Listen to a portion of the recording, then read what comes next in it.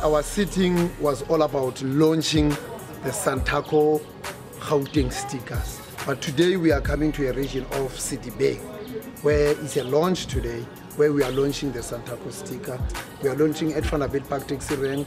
We are launching at uh, Vereeniging Taxi Rank. Obviously, we are talking to our drivers we are talking to the commuters, we are talking to the operators. We talk to our drivers that they also need to be safe when they're in the vehicle that are marked. If they have challenges, if an accident happens, somebody will stop and assist to say, this vehicle belongs to this organization, to this association, who to be contacted quickly so that there's assistance for the vehicle, there's assistance for the passengers, there's assistance for the driver. Therefore, in launching the stickers, we want to make sure our region is at the level that it gives a, save, a service to our commuters that they will be satisfied. Now, coming to the Wi-Fi, we have arranged with a certain Maruping company that they must come and put the Wi-Fi so that it must benefit our community. We want our people to use our services because we are bringing, we are plowing back to the, to the community. And this Wi-Fi is a free Wi-Fi.